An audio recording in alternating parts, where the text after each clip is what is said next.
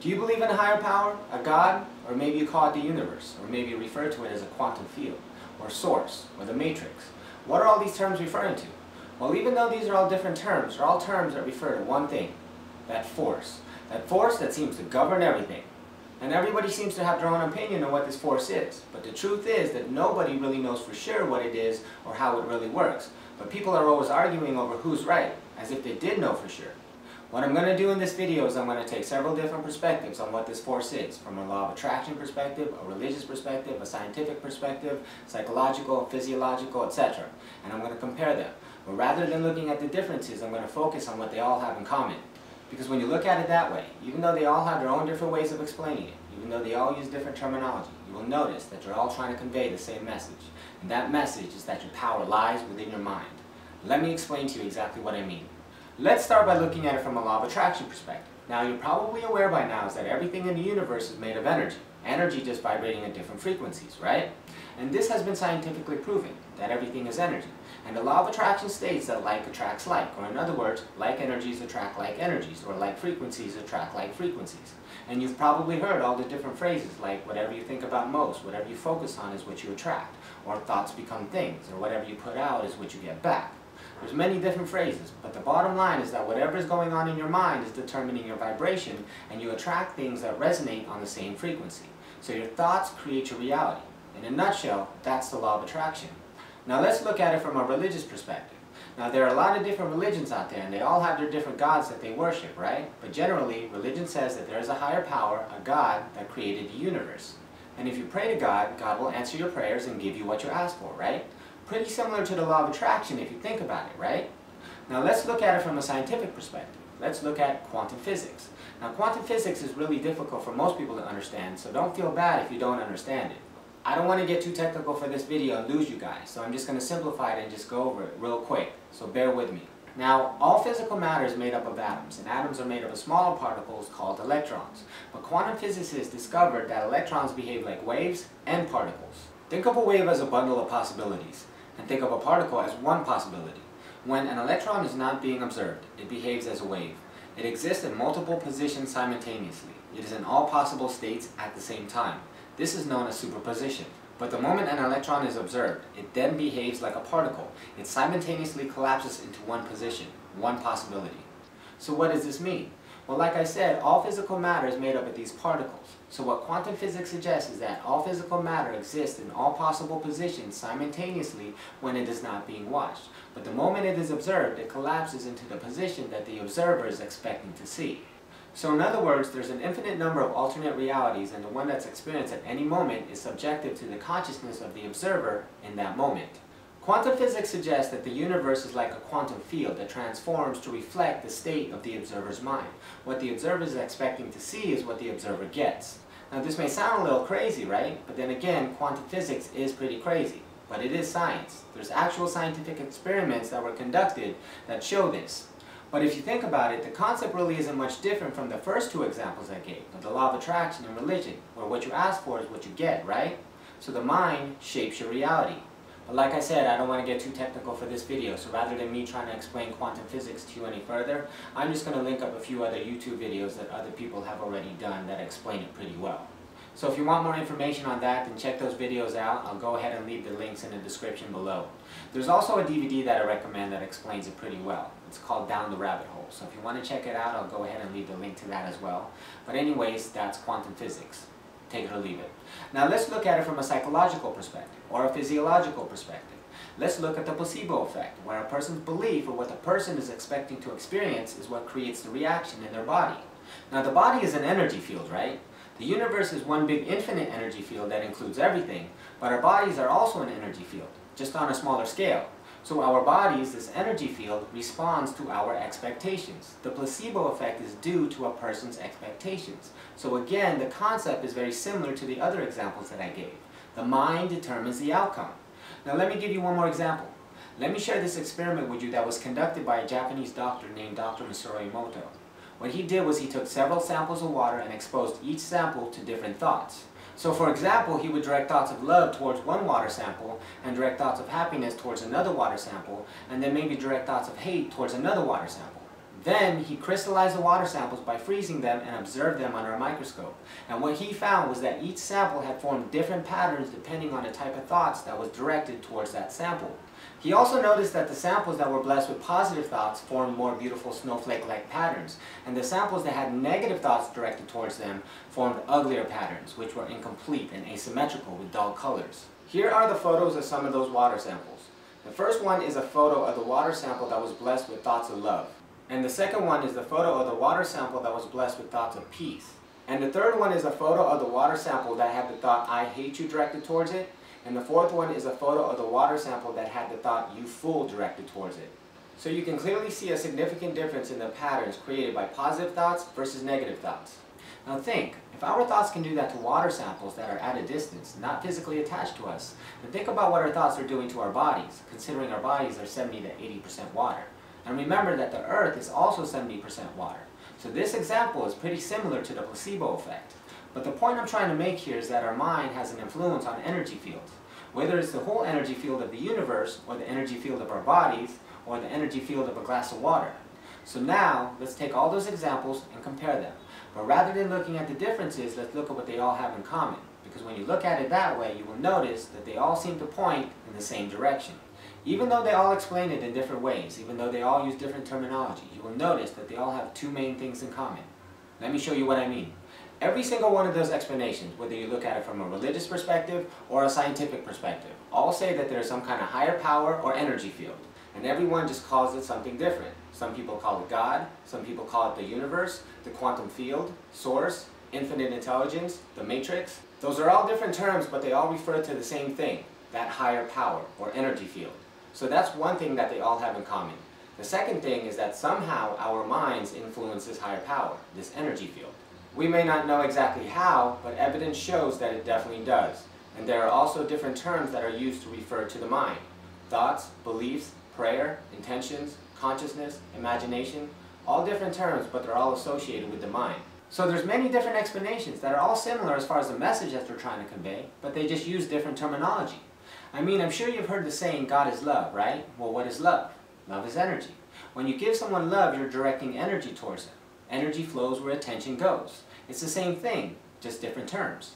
They say that God is everywhere, right? Well, energy is everywhere, because everything in the universe is made of energy. They say that God created everything. Well, everything is made from energy. The point is that it doesn't really matter what language you use to explain it. Everybody uses different terminology.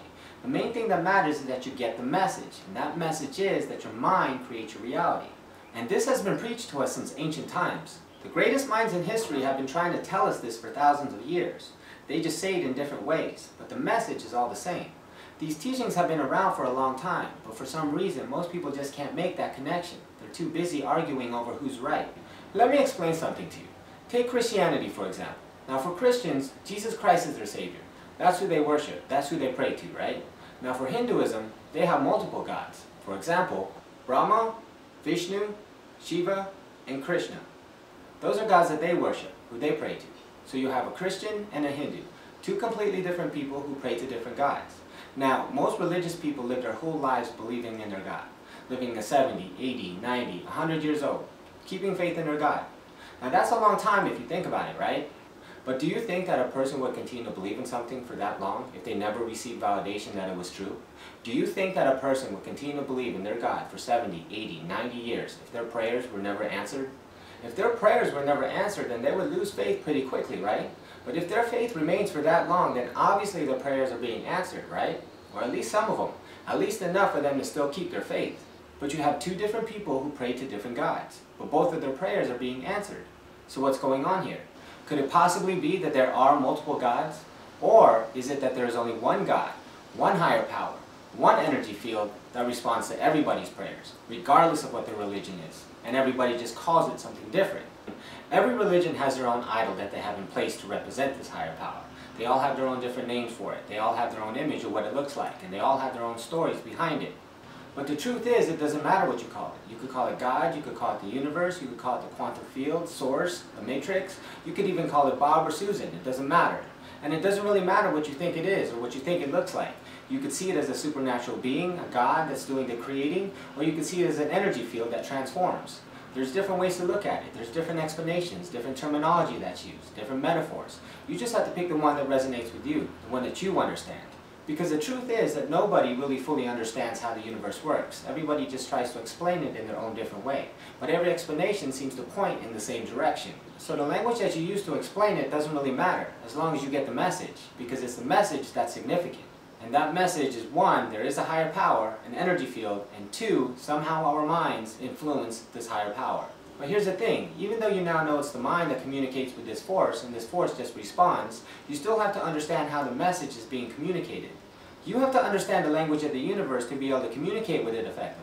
So what's the language of the universe? Well, remember, everything in the universe is made of energy. Energy just vibrating at different frequencies. And everything is constantly shifting, moving in and out of form, attracting and repelling, depending on a vibration of those energies.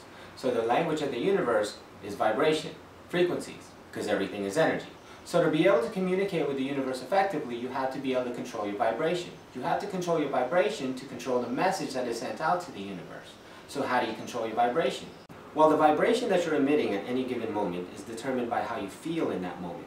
And how you feel is determined by your emotions. And your emotions are influenced by your thoughts. Because every thought that you think evokes an emotion. When you think positive thoughts, it evokes positive emotions. When you think negative thoughts, it evokes negative emotions. And that determines the vibration that you give out. So your thoughts influence your vibration, but your thoughts are governed by your mind, so it's your mind that controls your vibration. Your state of mind at any given moment determines your vibration in that moment. So again, it all goes back to the mind. Are you starting to see a trend here? So you want to control your thoughts, because every thought that you think, any beliefs that you have, the images that you hold in your mind, all affect your state of mind, which determines your vibration, and the universe just responds to your vibration. So your vibration is the message that's given to the universe. It's not the words that you speak that's the prayer. It's your vibration that's the prayer. You can verbally pray for something and not get it because your vibration was saying something else. The universe responds to your vibration, not your words. And you have to understand that prayer is not the only time that you're communicating with the universe. You're communicating with the universe in every single moment, even when you're not consciously praying. What do you think a prayer is? Let's think about this. A prayer is nothing more than a thought, a thought with a specific intention, right? And every thought has a frequency that influences your overall vibration. So your dominant thoughts are what is determining your overall vibration. It's not just the thoughts that you're thinking while you're praying, but it's also the thoughts that you're thinking in between those prayers that's affecting your vibration. Those thoughts are just as much being communicated to the universe through your vibration as your conscious prayers are. So really, every thought that you think is a prayer. If you're spending a few minutes every day consciously praying for something that you want, but in between those prayers you're thinking negative thoughts that conflict with those prayers, then you're not going to get what you consciously prayed for. What you get is going to be a reflection of your dominant thoughts. Whatever your dominant thoughts are, that's the prayer. If you have conflicting thoughts, it's the one that you think of the most that becomes the prayer. See, you don't necessarily get what you want, you get what you ask for. The problem is that most people don't realize what they're asking because they're not aware that their vibration is the prayer, not their words. So when they don't get what they wanted, they think that their prayer wasn't answered. But really, their prayer was answered. They got exactly what they were asking for. They just weren't aware of what they were asking for. So you can see what I mean when I say that you have to understand the language of the universe to be able to communicate with it effectively and get what you want. But that's one of the downsides of religion, because religion doesn't explain that. Religion doesn't explain how to pray effectively. Religion says there is a God, a higher power, and when you pray to God, then your prayers will be answered. But there's a lot of missing information in those instructions. You have to remember that religion is an ancient teaching. Religions were created thousands of years ago. I believe that the first documented religion was created 5,000 years ago. That's a long time ago. If you're old enough, try to remember how different things were just 20, 30 years ago. Think of all the advances we've made in those 20, 30 years. Think about how different people thought back then, how different their mentalities were, just 20, 30 years ago, let alone 5,000 years ago. I mean, thousands of years ago, they didn't have the knowledge that we do today. They didn't have the technology that we do now, but they were still aware of a higher power. They just didn't understand it. I mean, we still don't fully understand it, but we have a better understanding now than we did back then because of the evolution of our knowledge and intellect. But back then, thousands of years ago, they didn't have that knowledge. Back then, they would create mythical stories in order to explain the forces of the universe. And what is a myth exactly? The definition of a myth is a traditional story, especially one concerning the early history of people or explaining some natural or social phenomena and typically involving supernatural beings such as gods and goddesses. Well, that's basically what religion is, a traditional story that was created to try and explain how the universe works, using gods and goddesses, these mythical characters to represent the forces of the universe. Imagine going to a college that never updated their textbooks. Say that you were majoring in computer science, but the textbooks that they were using were 20 years old. Now, do you think that you would be receiving the proper knowledge that corresponds to today's technology? No. Well, that's pretty much what's happening with religion. These teachings come from books that are thousands of years old. I mean, the message is still there, but the language that's in these books don't resonate with today's younger generations. The language needs to be translated into modern terminology to decipher the message. But people don't want to do that because they see it as taboo to change those ancient teachings. So the message gets lost. And that's why a lot of people's prayers aren't answered, or at least they don't get what they wanted. Because it's not enough to just pray, you have to know how to pray effectively so that you do get what you want. But that information is missing from those ancient teachings. Now don't get me wrong, I'm not trying to bash religion or anything. I come from a very religious family. I may not consider myself as a religious person. I mean, I do believe in a higher power, but I just choose not to follow a specific religion. But my whole family is Catholic, so the last thing I want to do is put down religion. That's not my intention. What I am trying to do is decipher the message for you, a message that was lost in translation. But it's not just religion. Parts of the message is lost in all the other explanations as well, and all the other examples that I gave. I'm just saying that there's many different explanations out there, different terminology that is used, different metaphors. You just have to choose the one that resonates with you, the one that you understand. And know that what works for you may not work for someone else. Everyone is different. Everyone learns in different ways. Everyone comes from different backgrounds, different cultures. Just accept that. There's not one way that is superior over the others, and to believe that there is one way that is superior over the others is arrogance and ignorance. We're too busy arguing with each other over who's right that we completely miss the message. Think about how many people in history have died over this feud. Think about how many people died during the Crusades. It's estimated that 1.7 million people died during the Crusades. Killing over religion. Doesn't seem very godly to me. Think of the religious wars that are going on in the world today. Fighting over the differences. When really they're actually all the same. But people just can't seem to make that connection. You have to see the insanity in that. Don't focus on the differences. Focus on the similarities and you'll be able to see the message. The message is the key. And the message is that it all starts in the mind. It's your mind that creates your reality. There is a higher power, one higher power, an energy field, whatever you want to call it, but it's your mind that influences that higher power. That's the message. But like I said, you still have to know how to communicate with the universe effectively in order to get what you want. You still have to know how to pray effectively. Now, I made a separate video that explains how to do that in more detail. The video is called Law of Attraction, Advanced Manifestation Techniques, Tips, and Troubleshooting. Now, the video uses more of a Law of Attraction terminology, but like I said, it's all the same. It's all the same regardless if you're praying to God or praying to the universe. Just don't focus on the language, focus on the message like I've been saying. So if you want more information on that, then check out that video or go ahead and leave a link in the description below. So I hope you now have a better understanding of just how powerful the mind is and how significant it is when it comes to creating your reality. Because I really don't think that most people are aware of that. Because if they did, then they would be more conscious and taking better care of their minds. They wouldn't be constantly destroying it with drugs and alcohol. They wouldn't be eating the unhealthy diets that they eat they would be more conscious of their thoughts. They wouldn't be filling their heads with the usual negative content because all that negative stuff pollutes the mind, which will reflect in your reality. Because what it really comes down to is that whatever you program your mind with determines your reality. So if you want to be able to consciously influence your reality, then you have to learn how to control your mind and you have to know how to program it effectively. You want to program your mind with what you want, rather than letting other people program it for you. But most people have no clue how to do that. So I created a guide for you guys that explains exactly how to do that. The guide explains how the mind works and how to program the mind effectively, and it goes over all the different things that affect your state of mind, so that you'll be aware of those things. And you could use that information to shift your state of mind in whatever direction that you want, and create the reality that you desire. So if you want that information, then check out that guide. You can access that guide through my website. Here's the link to where you can access it. I hope this video was able to open up your minds a little bit more and expand your consciousness. If you found this video helpful, please give it a thumbs up. And don't forget to hit that subscribe button because I got a lot more mind-blowing videos on their way.